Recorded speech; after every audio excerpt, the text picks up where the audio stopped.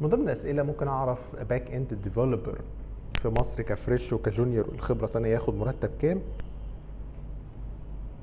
في الغالب ال fresh ممكن يوصل من 6 ل 7 مثلا واللي عنده خبرة سنة ممكن يوصل إلى مرتب من 10 ل 12 ألف. آه، ده طبعا على حسب حجم الشركة بس احتمال كبير إنك بتبدأ في هذا ال range من 8 أو في الحدود دي. ولو الشركة national international ممكن تزيد بهذه الطريقة. آه، طبعا دي الشركات المحترمة لكن شركات بير السلم ممكن تبقى أقل.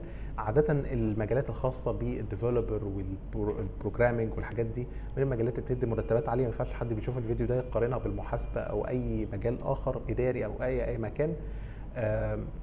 نصيحتي ليك لو في أي شركة متاحة قدامك بأقل من كده كمان ابدأ بيها ولكن أنت على طول قدم على أماكن تانية تجد فيها فرصة عمل وبإذن الله تجد هذا المواضيع وربنا يوفقك ويكتب لك كل خير وقدم واشتغل في أي حاجة متاحة وبالتوفيق بإذن الله.